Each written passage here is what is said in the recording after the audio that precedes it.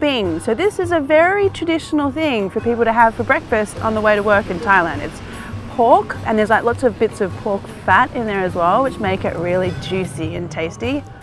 Mm. Oh my God, it's so good. This is one of Thailand's most revered street foods. Sticky, fatty char grilled pork skewers and khao niao, sticky rice. Oh my goodness, this is the street food I dream of when I'm not in Thailand. Now it might look like just pork skewers and rice, but it's not. It's quite a bit of technique here. Let's go through it together, my friends. Let's make moo ping.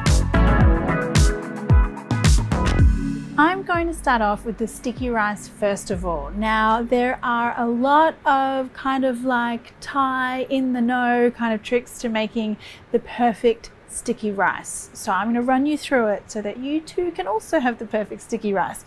Now I have here some Thai sticky rice. It's sometimes often sold as glutinous rice as well. So that's what you're looking for. And you'll notice compared to like regular jasmine rice, so the grains look more opaque here.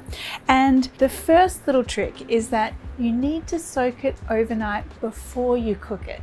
So here's one I started soaking yesterday and you can see that the rice really has soaked up some of that water. The water's a little bit cloudy, the rice is kind of plumped up a little bit. Now you can drain the rice into a sieve or a colander. Then to cook the rice, I'm using a very traditional setup here. I have like a conical shaped steamer basket and this is a special pot that kind of snugly fits the basket and this lid here as well. Now you could also do this with just a flat bamboo steamer over the top of a regular pot of boiling water. But this is gonna give you the best texture if you can find uh, this little setup here. Okay, take the lid off and then line the basket with a very light cloth like a cheesecloth or a muslin cloth or a light tea towel. Place the rice into the cloth and then fold over the tops of the cloth to completely cover the rice. Put a lid on top and then steam that for 10 minutes. Now I want to kind of flip the rice over so that it cooks evenly. So use the steamer basket to kind of juggle and flip the rice over. If you're doing this in a flat steamer basket, you could just use a spatula to kind of like flip the rice parcel over. Lid on and steam for another 10 minutes. The final trick to perfect sticky rice is to take it out of the steamer now. Be careful here because the steam is really hot. So use tongs if you need to. Pop it onto a tray, open up that cloth and then tip the rice out onto the tray. Use a spoon to kind of spread it out a little bit. This is gonna help like make things evenly sticky and make sure we don't have like one big sticky clump of sticky rice. You want things sticky but not like firm and clumped together if you know what I mean. If you're in Thailand, you might have one of these cute little rice baskets. I've just lined mine with some banana leaf. That actually gives it a really nice flavor and stops it from sticking to the basket also. So you can put your sticky rice into the basket and that is our cute little sticky rice box. We'll save that for when our pork is done pork skewers. Okay, so I know that if you're not in the know, you might think this is just literally about marinating some pork and popping it on a skewer.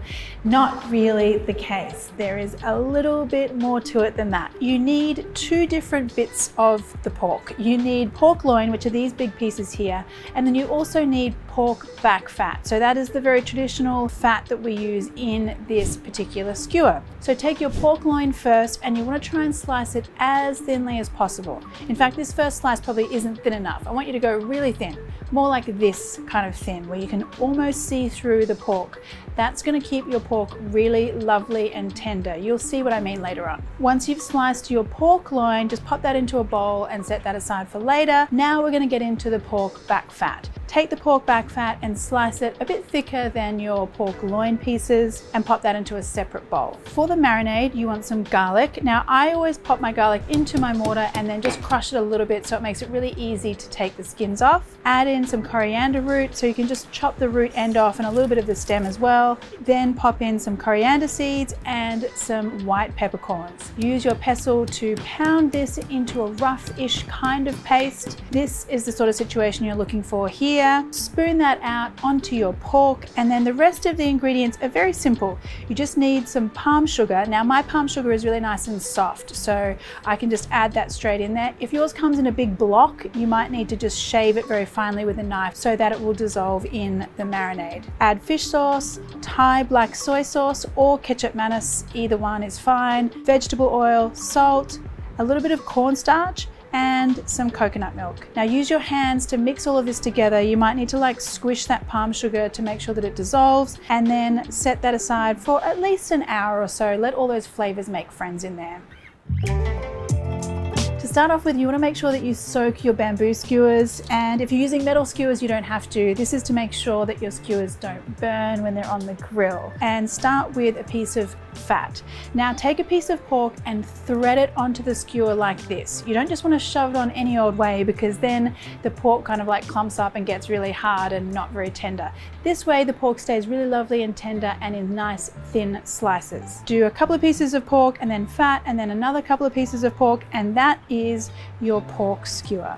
To cook the skewers, there are multiple different ways to do this. I'm gonna go more traditional and use a charcoal grill, but you could use a frying pan, a grill plate, a regular gas barbecue, whatever you like. The charcoal does give it a nice flavor though. Grill the skewers two or three minutes each side, and I'm actually gonna baste my skewers with a little bit more coconut milk. I've made this nifty little brush out of some pandan leaves kind of adds a bit more flavor. Also kind of looks fun too. Once your skewers are cooked, and I have to admit mine are like slightly charred. I kind of like them charred, but you know, typically on the street they might not be so dark, but whatever. I think the caramelization makes it taste really good. You can also use scissors to kind of like snip off any bits that are a little charred, but I wouldn't worry too much about it. I think it's delicious. Now here we are, we're ready to go. I've got my little basket of sticky rice here. I'm gonna place my pork skewers down and you can just see how like sticky and glossy they are, which is amazing and just what you want. Oh, so good, it smells so good. Mm. Wow, that pork is so tender. It just like melts in your mouth and the marinade makes everything kind of just a little bit sweet, a little bit salty, a little bit of your sticky rice. And there you go, my friends. Moo Ping, a very, very common, popular, favorite kind of Thai street snack often really eaten for breakfast in the morning. Now this is my kind of breakfast, I have to say.